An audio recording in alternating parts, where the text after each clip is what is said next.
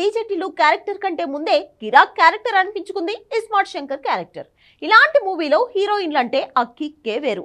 నిధి అగర్వాల్ నభా నటేష్ అలా వచ్చి కిక్ ఇచ్చారు బానే ఉంది. కానీ డబుల్ స్మార్ట్ శంకర్ హీరోయిన్ పరిస్థితే తేలట్లేదు.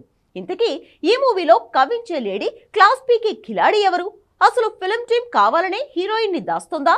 ఈ నిర్ణయం వెనుక డబుల్ స్మార్ట్ నిర్ణయం ఏదైనా ఉందా? Take a look.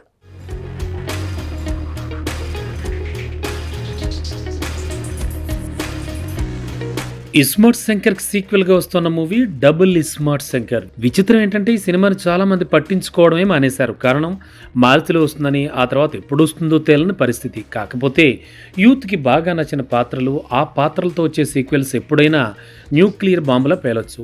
డిజెట్ ఇల్లు పాత్ర జనాలకు ఎక్కింది కాబట్టి దాని సీక్వెల్ టిల్లు స్క్వేర్ వంద కోట్లు దాటి రాబట్టింది. ఇప్పుడు ఇస్మార్ట్ శంకర్ కూడా యూత్కి అలానే ఎక్కేసిన పాత్ర కాబట్టి డబుల్ ఇస్మార్ట్ శంకర్ బాక్స్ ఆఫీస్ని షేక్ చేస్తుందనే అంచనాలు ఉన్నాయి కాకపోతే ఇందులో హీరోయిన్ ఎవరో ఇంతవరకు తేలనేలేదు విలన్గా బాలీవుడ్ హీరో సంజయ్ దత్ కనిపించబోతున్నాడు. కానీ హీరోయిన్ పేరు కానీ ఫోటో కానీ లేదు. ఇస్మార్ట్ శంకర్లోనే ఇద్దరు హీరోయిన్లు యూత్ మతి పోగొడుతుంటే దాని సీక్వెల్ డబుల్ స్మార్ట్ శంకర్కి డబుల్ డోస్ కన్ఫర్మ్ అనుకున్నారు. తీరా చూస్తే డబుల్ డోస్ కాదు కదా కనీసం సింగిల్ హీరోయిన్కే దిక్కు లేదు. అసలు హీరోయినే లేదా?